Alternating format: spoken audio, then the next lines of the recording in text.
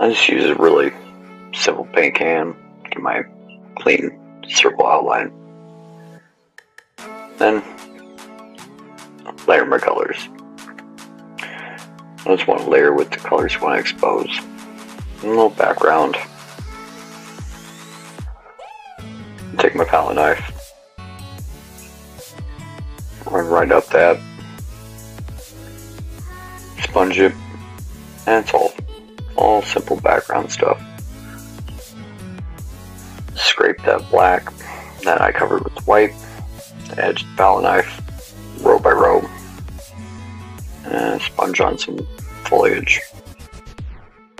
Light, dark. A little yellow for sunlight coloring. Lit edge. Layer again. Step process, top to bottom. Use my palette knife to kind of etch in some rocks. Clean up the tree edges. Give some depth.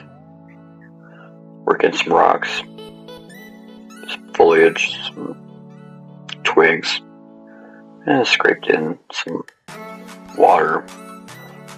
I'm gonna use some white coming up here to really to find the water. I use clear to wet the paint to rework it.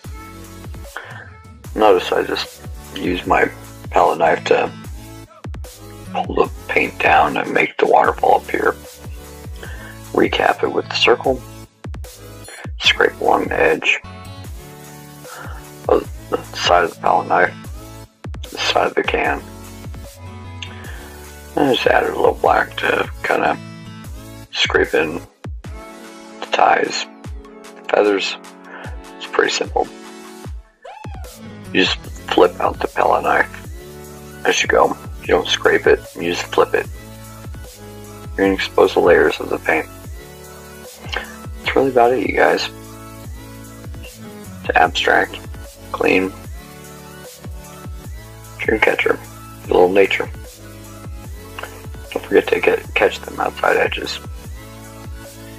Good luck.